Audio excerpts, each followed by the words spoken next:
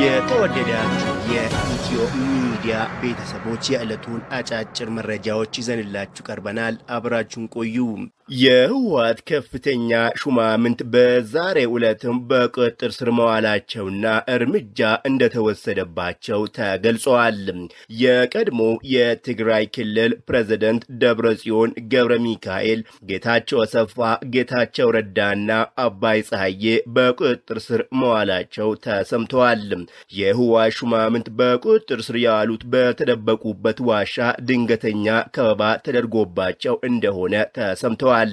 ከተያዙት በተጨማሪ ሌሎችም አምስት ሹማምንት በሰላማዊ መንገድ እጅ አንሰጥም ማለታቸውን ተከትሎ በሰራዊቱ እርምጃ እንደተወሰደባቸው ተገልጸዋል።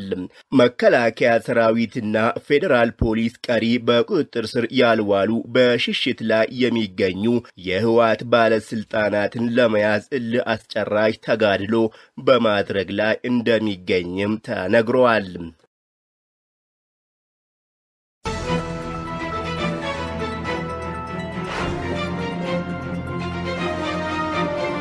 ሱዳን በኢትዮጵያ የተቀማሁትን መሬቴን አስመልሻለሁ ማለቷ ተገልጿል። የሱዳን ጦር በድጋሚ ወደ ድንበር መጠጋቱም ተሰምተዋል። የሱዳን ጦርን የማስጠጋት ድርጊት ብዙዎች በጥርጣሬ እንዲመለከቱት ምክንያት ሆነዋል። ኢትዮጵያ ከህወሓት ጋር በተያያዘ በህግ ማስከበር እርምጃ ላይ ባለችበት በዚህ ወቅት የተደረገ ጸባጫሪ ድርጊት ነው ተብለዋል። የሱዳን የውጭ ጉዳይ ሚኒስቴር ቃል አቀባይ ለሀገሪቱ ሚዲያዎች በሰጡት መግለጫ የተቀማነውን መሬት በጉልበት አስመልሰናል ሲሉ ተናግረዋል። የውጭ ጉዳይ ሚኒስቴር ቃል አቀባይ ዲና ሙፍቲ ድርጊቱ ለኢትዮጵያ ሆነ ለሱዳን የሚጠቅም አይደለም በማለት በአካባቢው ግጭት ለመፍጠር እያንዣበቡ የሚገኙ ግብፅን መሰል ኃይሎች እጅ እንዳለበት ገልጸዋል።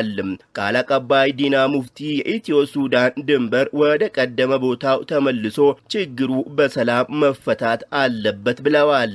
በፌዴራል መንግስትና በህወሓት ኃይሎች መካከል የተቀሰቀሰውን ግጭት ተከትሎ የሱዳን ጦር የኢትዮጵያን ድንበር ጥሶ በመግባት መሬት መያዙ ኢትዮጵያና ሱዳን ከዚህ ቀደም የነበራቸውን መልካም ግንኙነት እንዲሻክር ያደረገ መሆኑን ቃል አቀባዩ ተናግረዋል። ቃል አቀባዩ አምባሳደር ዲና ሙፍቲ ከቢቢሲ ጋር በነበራቸው ቆይታ የሱዳን ወታደሮች የኢትዮጵያን መሬት መያዛቸውና በገበሬዎች ላይ ችግር ማድረሳቸውን ገልጸዋል። በዚህ አለመግባባት ውስጥ ጥቂት የሱዳን ከፍተኛ አመራሮች ፍላጎት ሊኖራቸው እንደሚችልና በአብዛኛው ግን ከድርጊቱ ከጀርባ ሌላ አካል መኖሩን ተናግረዋል። በሌላ መረጃ የደቡብ ሱዳን ፕሬዝደንት ሳልቫኪር ሱዳን ከድንበር ጋር ተያይዞ ከኢትዮጵያ ጋር ያላትን ጉዳይ በዲፕሎማሲና በውይይት እንድትፈታ ማሳሰባቸው ተገልጸዋል። ፕሬዝደንት ሳልቫኪር በሱዳን ሉዓላዊ ምክር ቤት አባል በመሆን በሸምስልዲን ካባሺ የተመራ ልዕል በጽህፈት ቤታቸው ተቀብለው አነጋግረዋል። በዚህ ወቅትም በሁለትዮሽና ቀጠናዊ ጉዳይ ዙሪያ ምክክር ማድረጋቸው ተሰምተዋል። ፕሬዝደንቱ የሱዳን ሉዓላዊ ምክር ቤት ከኢትዮጵያ ጋር ያለውን የድንበር ጉዳይ በሰላማዊ መንገድ በዲፕሎማሲና በውይይት እንድትፈታ ማሳሰባቸው ተገልጸዋል። በቀጠናው ምንም አይነት ጦርነት አያስፈልግም ያሉት ፕሬዝደንቱ ሀገራቱ የድንበር ጉዳይ በሰላማዊ መንገድ መፍታት አለባቸው ብለዋል። የአሜሪካ ፕሬዝደንታዊ ምርጫ ተጭበርብረዋል በሚል ውንጀላ ሲያቀርቡ የነበሩት ተሰናባቹ የአሜሪካ ፕሬዝደንት ዶናልድ ትራምፕ መሸነፋቸውን ማመናቸው ተገልጸዋል።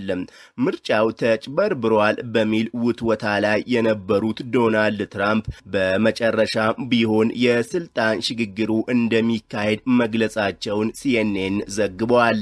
ለሁለተኛ ጊዜ ባለመመረጣቸው ብስ በትችት ውስጥ የቆዩት ዶናልድ ትራምፕ ምርጫውን እርሳቸው እንዳሸነፉ ሲገልጹ መቆየታቸው ቢታወስም ትናንትና ግን ከ12 ቀናት በኋላ ማለትም ጥር 20 2021 ከዋይት ሃውስ እንደሚወጡ ተናግረዋል። ከሰሞኑ በአሜሪካ የካፒቶል ሂል የተካሄደውን በጉልበት የታገዘ አመፅ አሰቃቂ ነበር ያሉት ዶናልድ ትራምፕ በድርጊቱ እንደ ሁሉም አሜሪካውያን እርሳቸውም እንደተከፉና እንደተቆጡ ገልጸዋል። ድርጊቱ በዶናልድ ትራምፕ ደጋፊዎች እንደተደረገ የተገለጸ ሲሆን ዓለም ሁሉ ድርጊቱን በአሳፋሪነት ተመልክቶታል። ዶናልድ ትራምፕ ከቤተ መንግስት ላለመውጣት ያቀነባበሩት አመፅ ነው የተባለ ሲሆን ዶናልድ ትራምፕ መሸነፋቸውን ማመን አለባቸው በሚል የሪፐብሊካን ሰዎች ጭምር በቁጣ አስተያየት ሰጥተዋል። ዶናልድ ትራምፕ ግን ብሔራዊ የጸጥታ ኃይልና የፌዴራል ሕግ አስከባሪ ኃይል እንዲላክ ማዘዛቸውን አስታውቀዋል። ተሰናባቹ ፕሬዝደንት ዶናልድ ትራምፕ ለተመራጩ ፕሬዝደንት ጆይ ባይደን የእንኳን ደስ አለዎት መልእክት ባያስተላልፉም የስልጣን ሽግግር እየተደረገ እንደሆነና ይህም እንደሚቀጥል አምነዋል። ተሰናባቹ ፕሬዝደንት ከ12 ቀናት በኋላ የዋይት ሃውስ አለቃ እንደማይሆኑም ገልጸዋል። አማካሪያቸው የተሰናባቹ ፕሬዝደንት ትራምፕ መከሰስም የማይቀር እንደሆነ መግለጻቸውን ሲኤንኤን ዘግበዋል። ጥር 20 ቀን 2021 አዲስ አስተዳደር ቦታውን እንደሚረከብ የተናገሩት ዶናልድ ትራምፕ ዋና ትኩረታቸው የተረጋጋና ስነ ስርዓቱን የጠበቀ የስልጣን ሽግግር እንዲኖር ማድረግ ነው ብለዋል። ቦይንግ የ737 ማክስ አውሮፕላኖችን አሰራር መረጃ በመደበቁ በቀረበበት ክስ 2.5 ቢሊዮን ዶላር ሊከፍል መሆኑ ተገልጿል። ቦይንግ የ737 ማክስ አውሮፕላኖች አሰራር ጋር በተያያዘ አሜሪካ ውስጥ በቀረበበት የደህንነት መረጃዎችን ለባለስልጣናት የመደበቅ ክስ 2.5 ቢሊዮን ዶላር ለመክፈል መስማማቱ ተገልጿል። ቦይንግ ከግልጽ ነት ይልቅ ትርፍን አስቀድመዋል ያለው የአሜሪካ የሕግ ዘርፍ አውሮፕላኖችን ደህንነት ለመጠበቅ ባሳየው ቸልተኝነት ሁለት አስከፊ አደጋዎች ማስተናገዱን ጠቁመዋል። ኩባንያው ከሚከፍለው ገንዘብ ውስጥ 500 ሚሊዮን ዶላሩ በሁለቱ አደጋዎች የተነሳ ሕይወታቸውን ላጡ 346 ሰዎች ቤተሰቦች የሚከፈል ካሳ መሆኑ ተገልጸዋል። ቦይንግ በበኩሉ የክፍያ ስምምነቱ ለነበረብን እጥረት እውቅና ለመስጠት ነው ብለዋል። የቦይንግ ዋና ስራ አስፈጻሚ ዴቪድ ካልሁን ወደ ስምምነት መግባታችን ትክክለኛ ውሳኔ ነው ብለዋል። ይህም ለነበረብን እሴትና ከእኛ የሚጠበቁ ጉዳዮች ጉድለት እውቅና መስጠት ነው ብለዋል። የስምምነቱ ውሳኔ የግልጽነት ግዴታችን ለሁላችንም ወሳኝ ጉዳይ መሆኑን ያሳያል። በኩባንያችን ላይ ያስከተለው ውጤትም የሚጠበቅብንን ባለማድረጋችን የመጣ ነው በማለት ለቢቢሲ ተናግረዋል።